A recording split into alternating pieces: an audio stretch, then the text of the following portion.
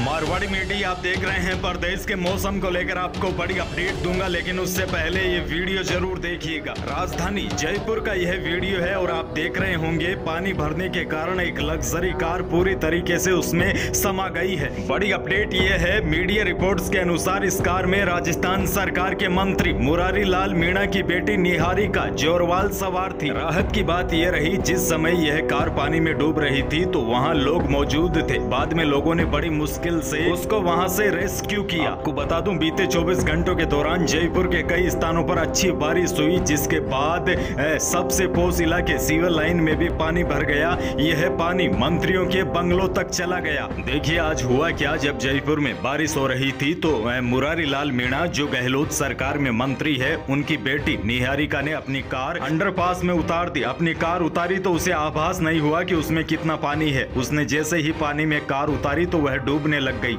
निहारिका ने बताया कि वह जब अंडरपास के बीचों बीच पहुँची चेम्बर खुलने से अचानक कार में पानी का भराव हो गया। कार में पानी भरने से वह बंद हो गई। बाद में स्थानीय लोगों ने पहुंचकर निहारिका को कार से बाहर निकाला। तब जाकर मंत्री की बेटी ने राहत की सांस ली। आज राजस्थान के आधे हिस्से में तो बारिश की गतिविधियाँ काफ़ी कम देखी गई, लेकिन आधे हिस्से में बारिश की गतिविधियाँ तेज हो गई है। धौलपुर में बारिश के कारण घरों में पानी भर गया। अजमेर के मसूदा में घर पर आकाशीय बिजली गिरने से महिला झुलस गई। वहीं मौसम विभाग ने 22 जिलों में तेज बारिश का अलर्ट जारी किया है, जिसमें करौली, सवाई, माधोपुर, जयपुर में कहीं कहीं पर बिजली गिरने की भी आशंका जताई गई है। बड़ी अपडेट ये भी है, अगले 48 घंटों के दौरान पश्चिमी राजस्थान के जोधपुर के आसपास के जिलों में भी कहीं कहीं पर भारी बारिश हो सकती है। मौसम विभाग के अनुसार अगले चार से लेकर पाँच दिनों तक दक्षिणी राजस्थान के कोटा और उदयपुर के आसपास भारी बारिश का दौर जारी रहेगा। और देखिए मौजूदा स्थिति में चूरू, सिक्कर नागौर, बीकानेर, यहाँ पर भी बारिश की संभावना बनी हुई है। मौसम विभाग ने जो 22 जिलों को लेकर अलर्ट जारी किया है, उसमें यह ज़िले भी शामिल है। जो भी प्रदेश के मौसम को लेकर कोई बड़ी अपडेट आती है तो कल सुबह वाले वीडियो में आपके साथ साझा करने की कोशिश करूँगा। फ़िलहाल के लिए इतना ही।